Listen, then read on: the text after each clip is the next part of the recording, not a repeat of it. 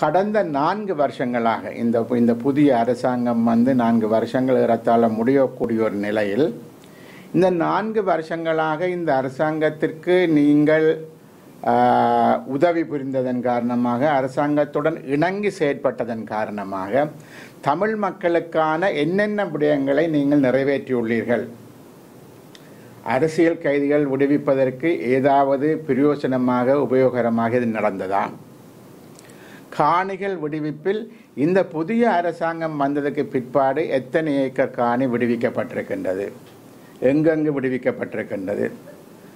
ஆகலம் திருவோணமலையிலுடைய சம்பூரிலும் யாழ்ப்பாணம் பலிகாமம் வடக்கிலும் சிறுதொகையான காணிகள் விடுவிக்கப்பட்டதுக்கு அப்பால் ஏறத்தாழ அறுபதனாயிரம் ஏக்கர் காணிகளை வடக்கு மாநிலத்தில் இவர்கள் பிடித்து வைத்திருக்கின்றார்கள். இதில் எவ்வளவு காணிகளை இவர்கள் விடுவித்திருக்கின்றார்கள்?